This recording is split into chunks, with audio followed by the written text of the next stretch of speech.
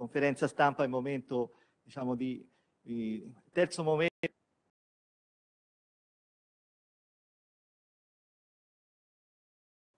Sono qui accanto a noi l'onorevole eh, Simona Vietina e l'onorevole Maria Teresa Baldini, mentre l'onorevole Fuxia Frigera, di Frigera è qui fra il pubblico, poi ci raggiungerà a sua volta. Intanto prima di iniziare eh, l'inno d'Italia eseguito dalla, dalle bande nazionali dell'Ambima.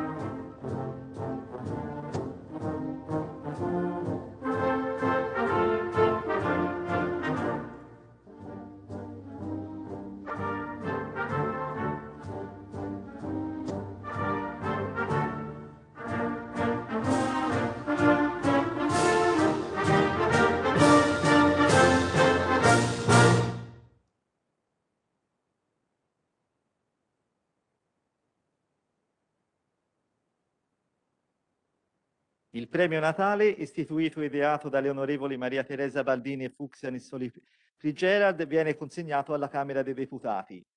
Il premio Natale attribuisce un riconoscimento di merito a coloro, persone, associazioni o istituzioni, che in Italia e nel mondo portano avanti attivamente le tradizioni e le radici cristiane, attraverso il loro quotidiano contributo di idee, il loro lavoro, la ricerca, l'affermazione della bellezza intesa come armonia tra mente, corpo e anima la capacità di trasmettere i valori di civiltà che hanno contraddistinto la nostra storia anche attraverso piccoli gesti e azioni. Il premio Natale sarà protagonista anche di questo terzo step dedicato appunto eh, alle, a questa iniziativa e che avrà protagonisti i presepi d'Italia. Prima di iniziare a entrare nel merito eh, vorrei un saluto dall'onorevole eh, Simona Vietina e dall'onorevole Maria Teresa Baldini. Funziona? Ecco sì. Buon pomeriggio, io ringrazio Maria Teresa per aver pensato a questo festival, ringrazio Terre dei Presepi che propone l'itinerario presepiale più grande d'Italia. Ehm, abbiamo parlato oggi di bande, quindi del folklore, della tradizione, abbiamo parlato di presepi, abbiamo parlato di piccoli borghi ed io come sindaco di un comune piccolo, un comune montano, eh, sono fiera di questa iniziativa che riporta alla ribalta quella che è la bellezza italiana. La bellezza italiana è fatta delle nostre tradizioni, della nostra cultura e della bellezza dei piccoli borghi. E abbiamo dei paesi che sono diamanti incastonati nella nostra bellissima Italia che hanno tutti quanti tradizioni diverse e bellissime che devono essere valorizzate. E, ehm, per quanto riguarda il presepe, eh, noi abbiamo proposto a 700 anni dalla morte di Dante un presepe eh, in, dedicato a Dante e l'abbiamo proposto in località Inferno dove a Tredozio è presente un piccolo vulcano, una piccola fiamma sempre accesa e ehm, proprio il vulcano riscalda la Sacra Famiglia. Non abbiamo il bue e l'asinello ma abbiamo solamente i personaggi della Sacra Famiglia fatti in terracotta naturale eh, da un artista locale. Periodicamente intorno al presepe si sviluppa una polemica, la polemica si è sviluppata anche quest'anno, lo sapete bene, quando la Commissione europea ha emesso delle linee guida subito ritirate che vietavano l'utilizzo della parola buon Natale, l'utilizzo della parola Natale perché si pensava potesse offendere culture diverse. Ecco, io credo che il Natale non debba essere un cartello di una parte o di un'altra politica. Il, il, Natale deve essere assolutamente quello che è, il simbolo delle nostre tradizioni, il simbolo della famiglia, il simbolo della nostra Italia cristiana cattolica. E soprattutto non ci dobbiamo dimenticare che nel rispetto delle idee degli altri non ci dobbiamo dimenticare di far rispettare le nostre idee. Ecco che quindi io passerei la parola al mio vice sindaco che è collegato proprio dal vulcano a Tredozio. Possibile oppure?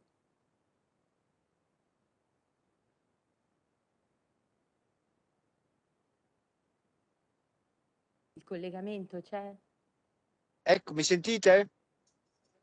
Pronto? Ecco, mi sentite? Sì, ti vediamo anche. Perfetto, allora sono Lorenzo Bosi, vice sindaco di Tredozio e qui con me c'è Parucci Clara del consiglio direttivo della Proloco, sempre buonasera, di Trabuzio. Buonasera. Quindi eh, vogliamo, eh, siamo qui in uno dei luoghi simbolo del nostro paese, che è appunto il vulcano più, più piccolo del mondo, eh, detto anche buca del diavolo. Ed è qui appunto che eh, da uno studio insomma, del CNR sembra che sia passato anche Dante, come ha detto anche l'onorevole eh, Vietina, eh, diciamo che abbiamo costruito quindi questo eh, vulcano, questa attività a grandezza naturale anche per celebrare Dante e quindi eh, anche per festeggiare la, la, collaborazione con l'associazione Terre di Paese. E quindi eh, noi abbiamo creato questa attività costruita appunto in un luogo speciale, in un luogo iconico del nostro comune perché a Tredozio la tradizione del Natale è molto sentita e ogni anno la Proloco, il Comitato dei Genitori, il Comitato dei Presepi, tutti i commercianti e i volontari danno un contributo fattivo e concreto all'amministrazione comunale per vestire a festa il nostro borgo, rendendolo un vero gioiello. Oltre ai consueti addobbi e luminarie, la novità di quest'anno è senza dubbio rappresentata dalla natività a grandezza naturale e per questo capolavoro dobbiamo ringraziare il nostro artista locale Luca Ceroni e le sue mani d'oro. Una natività che, come ha detto Simona, eh, non ha il bue e l'asinello perché eh, il nostro San Giuseppe, la Maria e il Bambino Gesù vengono scaldati dalle fiamme del nostro vulcanello. Quindi il nostro desiderio è quello di far conoscere i piccoli, grandi tesori di Tradozio a una platea sempre più vasta e quindi è un onore per noi far parte di questa iniziativa. Invitiamo quindi tutti a venirci a trovare perché Tredozio e le sue bellezze vi, vi aspettano. E noi siamo molto felici di, e onorati di, di, questa, di, far parte anche di questa conferenza stampa. Grazie all'onorevole Simona Viera. Grazie a tutti.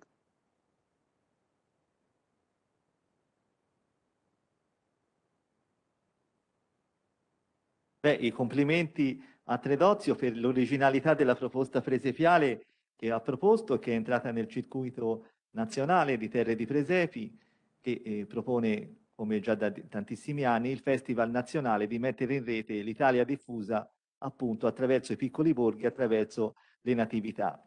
Piccoli borghi e eh, natività che sono stati protagonisti oggi insieme alla musica, come ci racconta insieme a tante altre cose l'onorevole Baldini.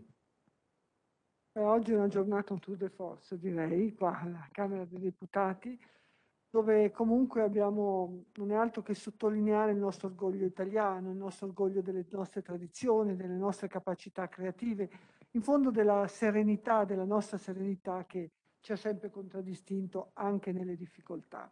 E questo ha permesso di sviluppare i presepi, i piccoli racconti, le piccole cose, le piccole statuette. Insomma, nonostante tutto non è stato mai questione, credo, di soldi, no? di, di economia, ma si è voluto dimostrare che con quei gesti, con quelle quotidianità, ci siamo riusciti a, a presentarlo. Io sono stata un giorno qua con il signore qua a Pontedera, dove era stata presentata la Torre dei Presepi, insomma ci sono delle regioni, oggi siamo un po' una Toscana, ecco, con grande mio orgoglio perché di origini sono toscana, comunque ci sono delle regioni che hanno questa forza, questa forza creativa, questa forza comunque di non rinunciare mai in qualunque modo, in qualunque costo, alle proprie, alle proprie tradizioni. E questo vuol dire essere italiani, questo vuol dire portare avanti quello per cui l'Italia è conosciuta nel mondo, è conosciuta proprio per queste capacità, per questo orgoglio, magari per questi campanilismi, ma comunque dobbiamo ricordarcelo che l'Italia è un'Italia comunale, rimane un'Italia comunale,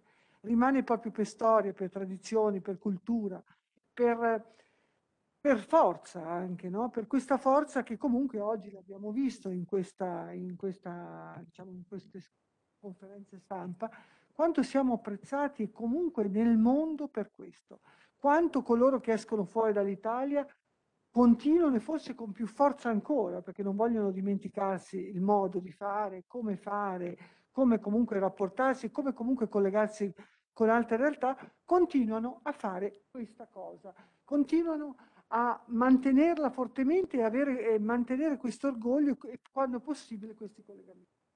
Oggi sono venuti qua persone di altissima rappresentanza come il Monsignor Ilari, cioè persone che comunque nel mondo hanno dato e hanno continuato questo, hanno portato il, proprio il messaggio di cristianità, i valori, i valori legati alle nostre radici.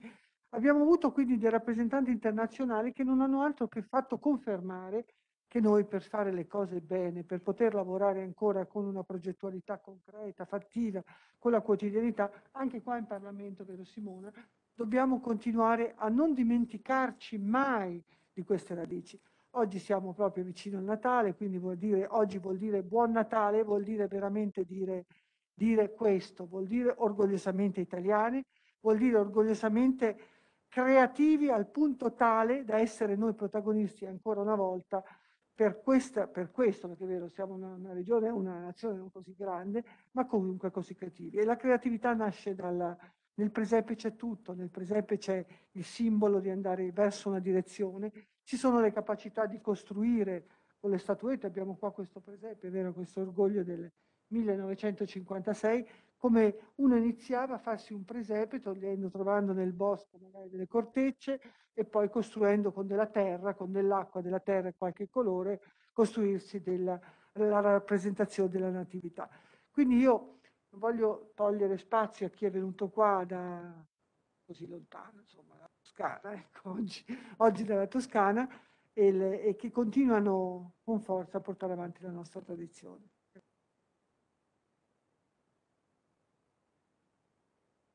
Beh, dalla Toscana però con un progetto che sta portando avanti l'intera, Italia, l'intera Italia diffusa, perché nel 2020 abbiamo costituito l'Associazione Nazionale delle Città dei Presepi, che sta mettendo in rete tutte le natività attraverso i piccoli borghi, attraverso i piccoli centri d'Italia. E qui, ecco, io chiamerei in rappresentanza dell'Associazione Nazionale Città dei Presepi un presepista che, tra l'altro, espone per il secondo anno consecutivo alla mostra dei 100 presepi in Vaticano, che è Andrea Lavecchia.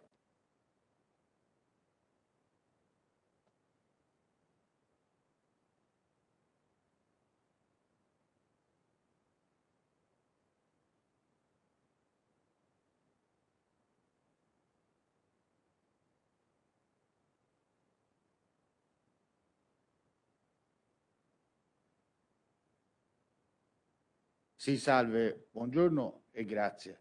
Io porto i saluti della Presidente, eh, Simona Rossetti, che non è potuta essere presente oggi, quindi eh, diciamo sono io che rappresento eh, l'Associazione Città dei Presepi. L'Associazione Città dei Presepi è un'associazione che raggruppa le associazioni di volontariato, le parrocchie e anche l'ente pubblico.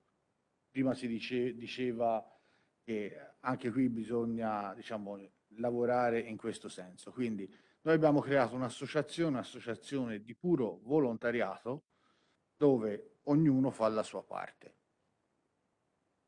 Siamo partiti dal...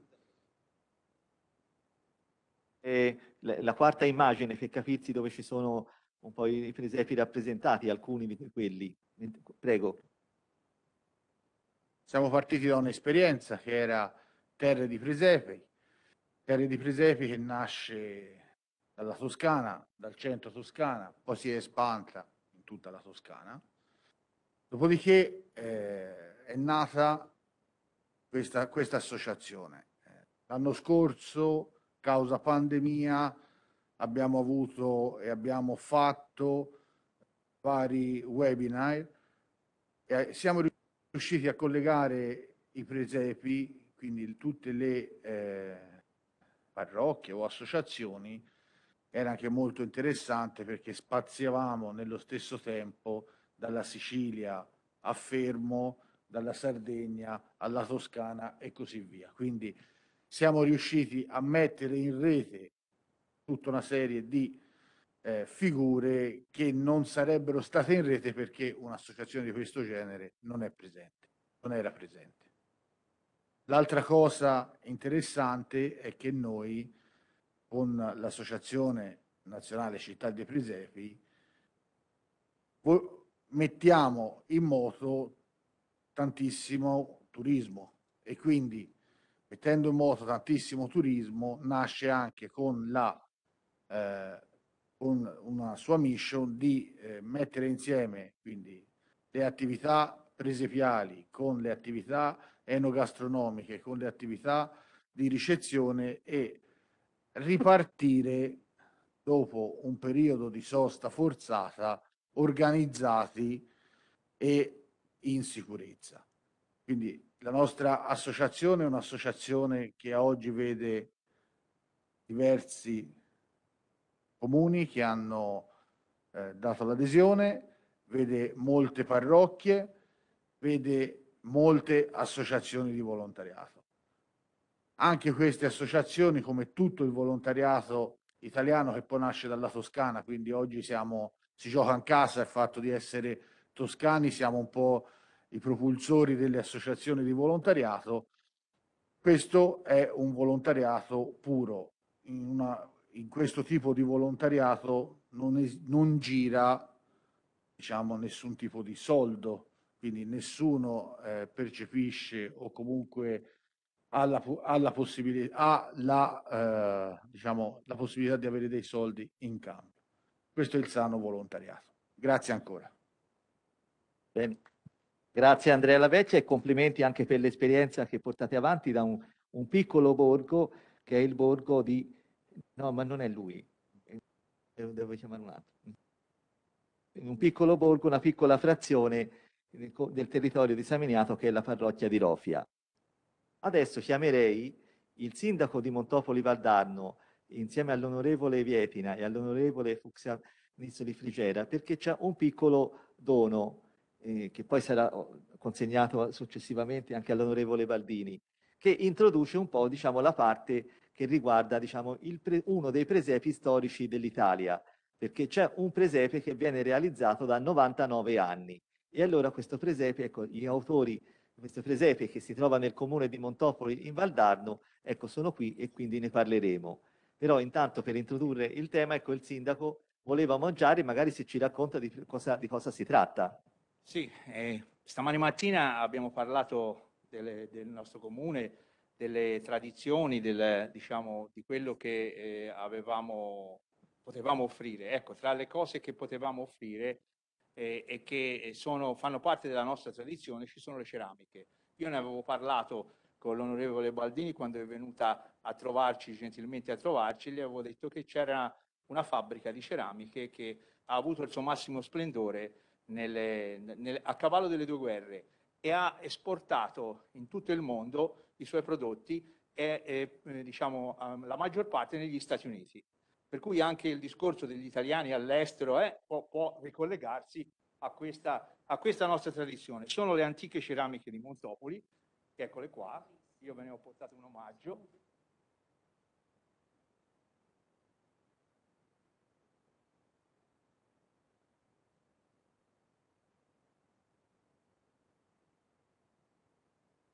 dire la tradizione e la cultura Certo. locale.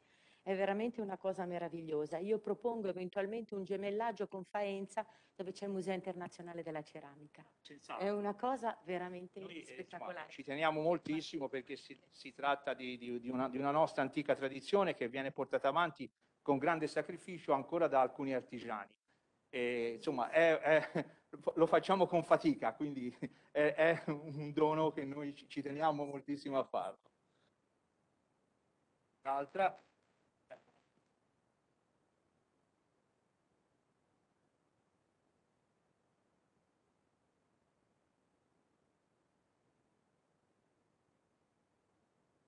Lo ringrazio, un bellissimo piatto. Anzi, io domani vado a Houston e chissà che non riusciremo magari a promuoverlo anche negli Stati eh, Uniti. Eh, vi, Grazie vi, mille. Me ne sarei enormemente grata se Grazie, ci facessi un po' di promozione del nostro territorio che ne abbiamo estremamente bisogno. Troviamo, troviamo gli italiani che vivono, cioè eh, emigrati.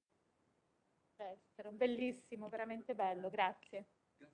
E allora magari Giovanni, visto che siamo in tema di cerimonie, se consegniamo anche il piatto all'onorevole Baldini, poi se possiamo, non so, fare una foto di gruppo. Ecco. E poi proseguiamo con il racconto presepiale.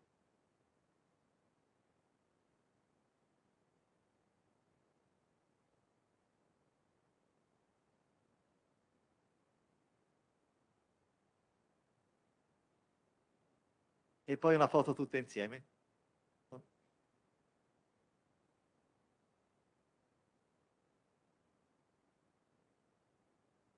Altezza.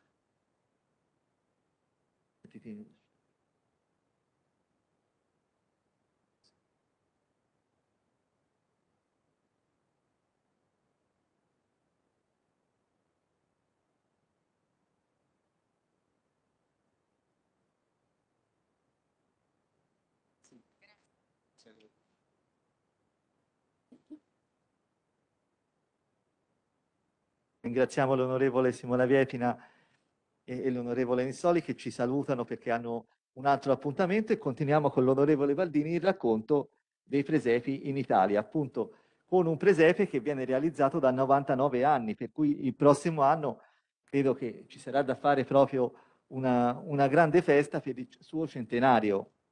E quindi io chiamerei qua a raccontarci il presepe il, il patron dei presepisti, il coordinatore dei presepisti di un gruppo che comunque lavora tantissimo per diversi mesi e quindi per poter preparare questo presepe che occupa l'intero atrio del chiostro di San Romano. E chiamo qui accanto a noi Paolo Barro.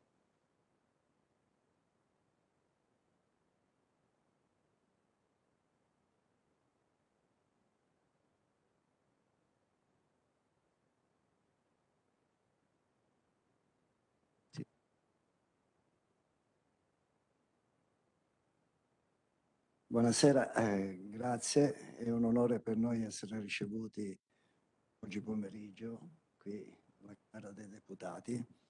E premetto che per la mentalità dei nostri presepisti, il presepe più piccolo o il presepe più grande per noi sono tutti belli.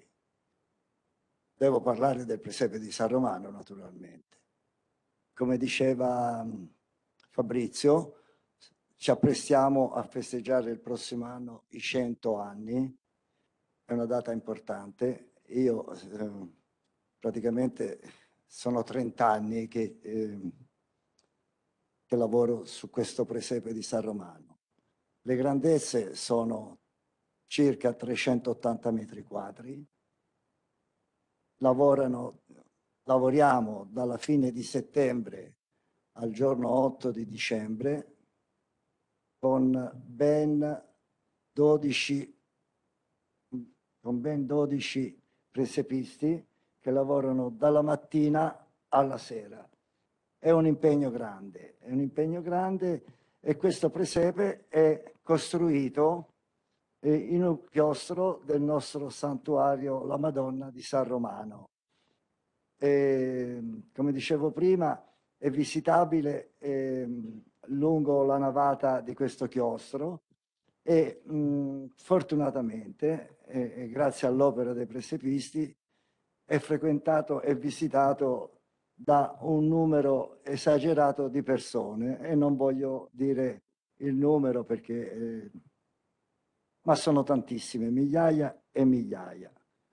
Questo, eh, questa costruzione di presepe lo dobbiamo ai nostri frati francescani che già nel 1922, oltre eh, a fare il presepe, costruivano anche le statue e ai tempi di oggi ne abbiamo circa una decina datate 1923. Il nostro santuario è già in condizioni naturali e visitato da moltissimi fedeli. Però con l'occasione del nostro presepe ehm, siamo balzati anche alla cronaca provinciale e direi anche regionale. Non aggiungo altro, è un presepe tradizionale, è un presepe tradizionale esposto a tutte le intemperie, eh, vento, freddo, gelo, pioggia, e rimane lì, come se ci fosse una mano che lo protegge. E, ehm, ogni anno i presepisti fortunatamente aumentano, aumentano e si avvicinano alla nostra realtà. Mm, non mi dilungo altro, altro se non che è un presepe dove ci sono tre laghi, eh, fiumi di, di decine e decine di metri e una sacra famiglia sempre incastonata in un ambiente eh, consono. E abbiamo adottato una tecnica particolare che chiaramente non potevano essere fatte le montagne di cartapesta, ma abbiamo trovato un sistema per, eh, per, per ovviare a, alle intemperie, come per esempio eh, facciamo la semina del trifoglio o dell'erba di campo nel momento giusto. E a questo punto invito l'onorevole a venirci a trovare. Grazie.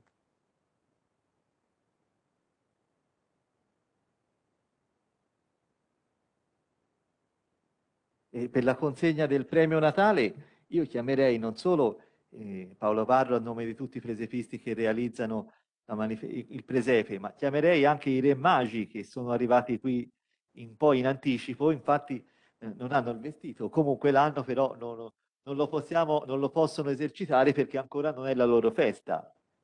E poi chiamerei anche il sindaco di Montopoli Vardarno eh, Giovanni Capecchi e l'assessore Valerio Martinelli.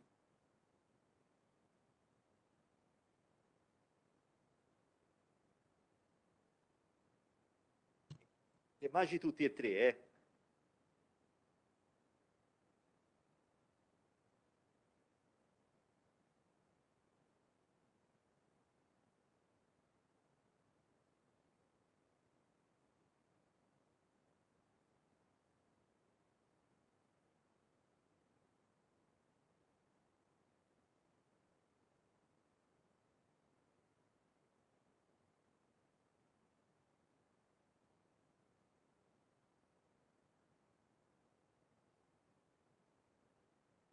Complimenti. Poi ecco, chiederei al sindaco se può, eh, se può concludere poi dopo questo appuntamento. Chiederei poi anche un, un saluto all'assessore Valerio Martinelli. Però io volevo passare poi a questo punto a raccontare un'altra iniziativa che presentiamo quest'oggi e che è stata oggetto eh, della precedente sezione per quando abbiamo parlato di San Lorenzo. E qui magari se può andare avanti un contributo, ci sono due, due contributi in questo caso, perché eh, nella Basilica di San Lorenzo, fuori le mura al Verano, è stato eh, eseguito da un gruppo di artisti quest'anno il calendario dell'Avvento, Presepe in Arte. La Basilica ospita eh, questa iniziativa che è un'iniziativa che nasce da un'altra città, nasce da Saminiato.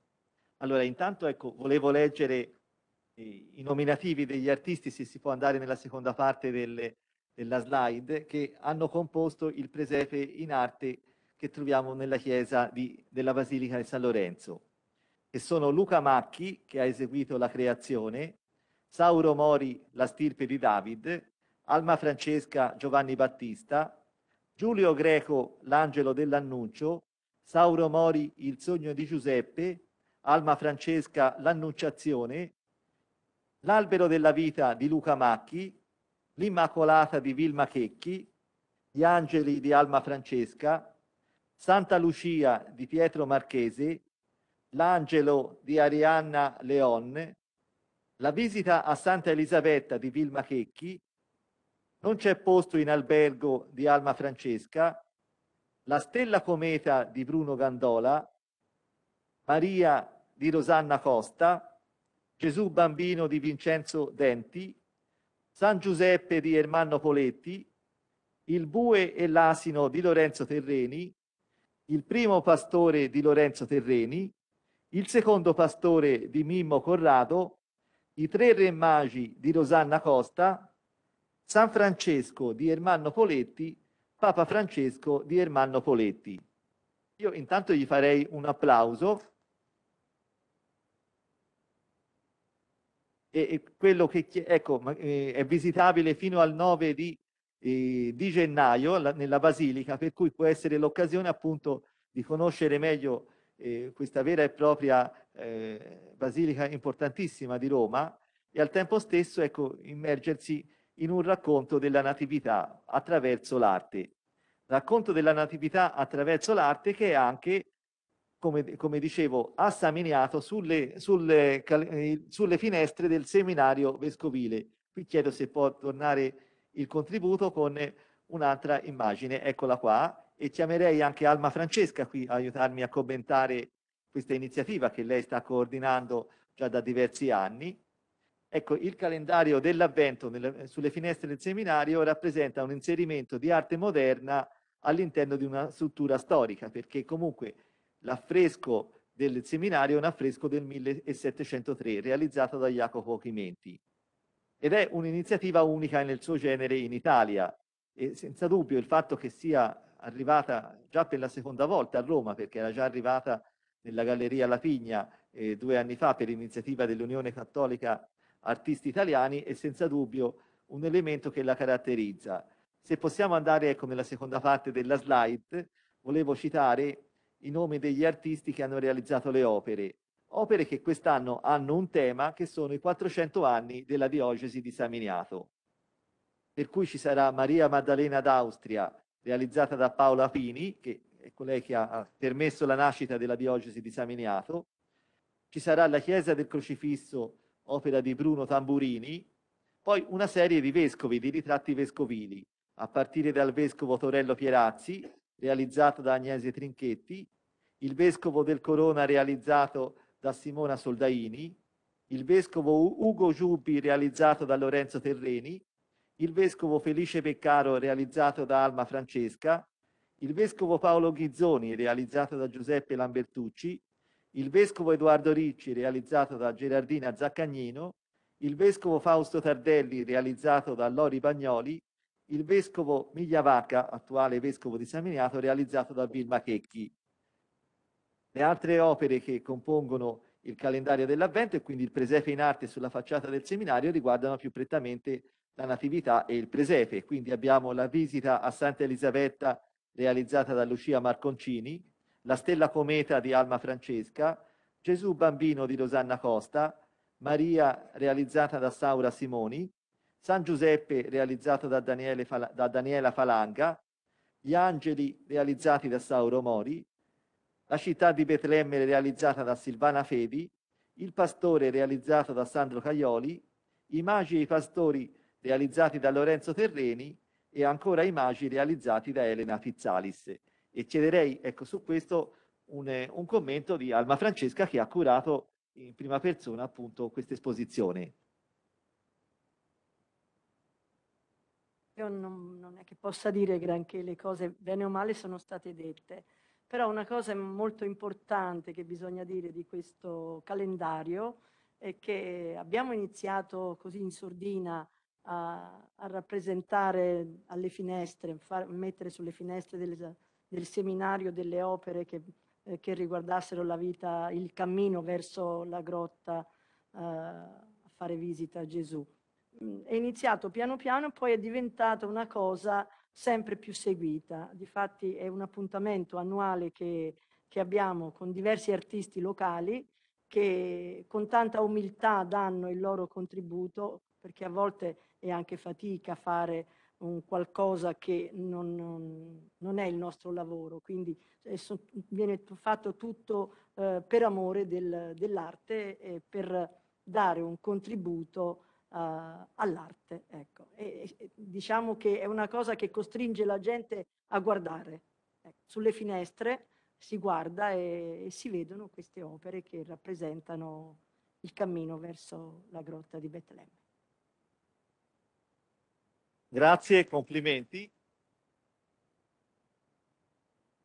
Volevo, volevo però, ecco, intanto eh, volevo chiamare qui nuovamente Stefano Matti nella veste di presepista, se ci può raccontare un attimo, ecco, un, alcune sue esperienze presepiali in breve.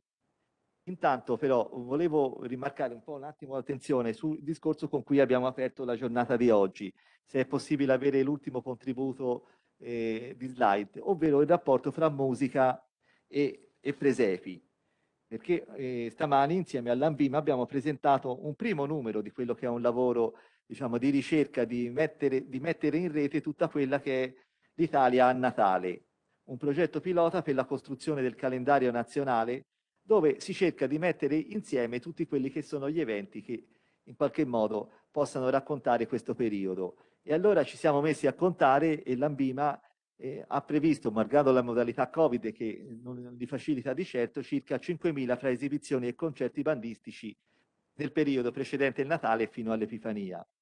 In più l'esperienza dell'Associazione Nazionale Città dei Presepi porta in dote altri più di 30.000 eh, fra eventi, presepi e iniziative intorno al presepe. Ecco, questo vuole essere solo un po' l'inizio di un percorso per coinvolgere anche altri enti, altre associazioni e altre realtà sia musicali che presepiali per far sì ecco, che la proposta sul Natale sia una proposta organica che parte dai piccoli borghi e che in qualche modo arrivi nel suo insieme a porre l'attenzione su un piano nazionale. Stefano Mattii, ecco, se ci puoi raccontare la tua esperienza presepiale in breve.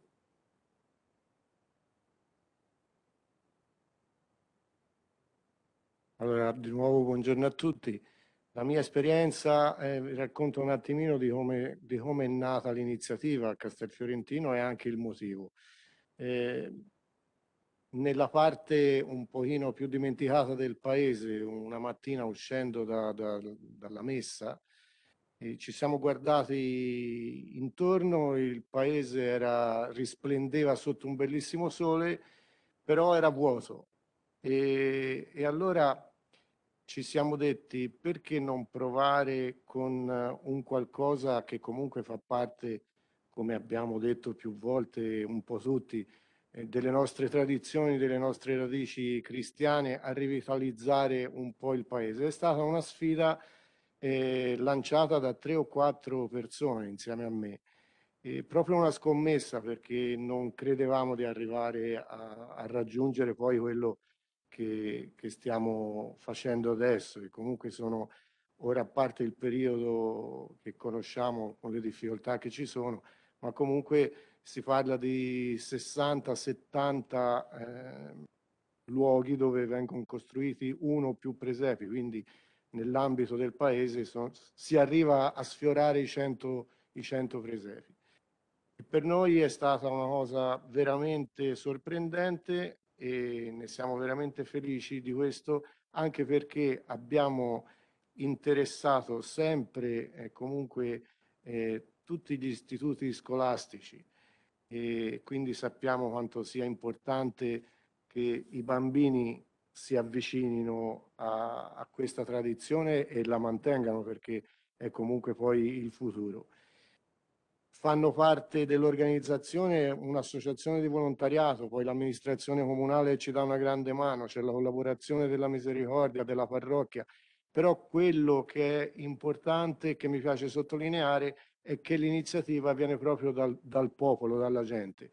E le associazioni poi si sono eh, avvicinate nella collaborazione, però l'iniziativa è del popolo e questo eh, insomma è una cosa da sottolineare. Grazie. Ecco, volevo sottolineare al riguardo una cosa che credo faccia da trend union assolutamente alla giornata di oggi. Allora, la via dei presepi di Castelfiorentino, quando è iniziata, si, si svolgeva tutta nella parte alta del paese, che era una zona completamente da rivalorizzare.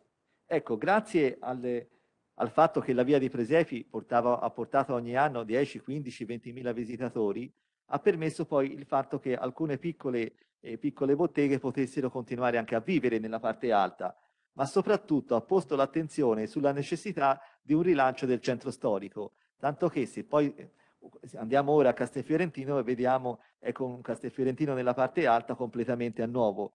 e eh, se sono arrivati poi i contributi, se è stato possibile fare i progetti per restaurare e rimettere in sicurezza e in bellezza tutta la parte alta di Castelfiorentino, uno dei meriti sicuramente spetta anche alla Via dei Presepi di Castelfiorentino. Sì, confermo questa cosa perché c'è stata riconosciuta anche proprio dall'amministrazione comunale non tanto di aver, eh, diciamo così, risolto i, i, problemi di una parte del paese comunque un po' più eh, complicata, ma soprattutto quella di averci attirato l'attenzione perché i visitatori, in modo particolare venuti da fuori, che comunque sono stati molti di più rispetto agli abitanti poi del paese stesso, eh, l'attenzione di queste persone ha, ha smosso, diciamo così, anche un pochino le acque, cioè sentirsi dire sempre ma guarda come è bello questo paese e perché non, non cerchiamo di rivalorizzarlo, non ci assumiamo meriti che non abbiamo, però un qualcosina eh, questa iniziativa ha, ha portato di buono. Eh, ringrazio Stefano Matti e credo che il contributo onorevole Baldini sia un po', ecco quello che raccontava Stefano, proprio vada nella direzione del percorso iniziato per cercare di mettere tutto a regime, quindi la musica, i borghi, le tipicità, i prodotti tipici, i presepi, cioè tutto alla fine serve perché la piccola Italia, l'Italia diffusa, possa in qualche modo ecco, essere protagonista, perché poi alla fine le tradizioni, come abbiamo scoperto nella giornata di oggi, e il senso identitario stanno proprio in questi luoghi. Eh, l'ho già detto conferenza di prima, io sono molto orgogliosa che sono riuscita a passare, a far passare un emendamento al PNRR, al piano di, nazionale di presa e resilienza, dove tutti i comuni italiani avranno a disposizione dei fondi per poter portare avanti le tradizioni, quindi cultura e tradizione. Questo chiaramente, questi soldi è passato nella nostra richiesta, è passato quindi alla, con il, la proposta di legge, con il decreto legge, e insomma arriveranno questi soldi, speriamo che ci sia l'uso buono, perché poi tradizioni, vero, le tradizioni, sperando che ci sia un controllo tale affinché queste tradizioni possano venire, essere continuate anche con una capacità economica che, vero sindaco, c'è bisogno di, c'è bisogno di avere. Quindi speriamo che, io credo che, credo che poi qualcosa di buono ci sarà perché questa pandemia ha portato tanti porta, e purtroppo sta portando ancora tante problematiche, ma in questi momenti si vedono le cose vere dalle cose un pochino più, più diciamo, libere, no? E quindi quella della tradizione si ripete, si ripete e speriamo che ci siano dei buoni sindaci che, che sappiano portare avanti e spendere bene il denaro che arriverà.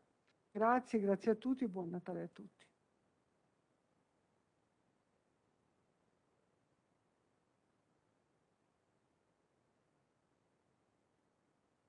Scusa, scusa Valerio, non ti, abbiamo, ti avevamo segnato sulla scaletta, se ci puoi dare un contributo. No, no scusami, e anche il sindaco, è una nostra dimenticanza.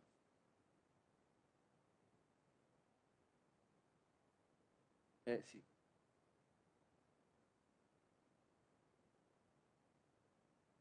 Anche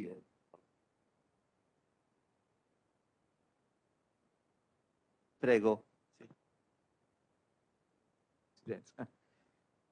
No, io eh, vi ringrazio per, insomma, naturalmente è un onore venire qui alla Camera dei Deputati, ringrazio l'onorevole Baldini che insieme a Fabrizio e alle colleghe sono riusciti a organizzare questo momento di presentazione della, insomma, di un elemento di eccellenza anche del nostro territorio. Nel comune di Montopoli abbiamo questo esempio particolare di quasi 100 anni, che è una storia non banale. Il prossimo anno festeggeremo il centenario, quindi sarà il modo anche di poter rilanciare, promuovere una tradizione che nel nostro territorio ha un'importanza fondamentale.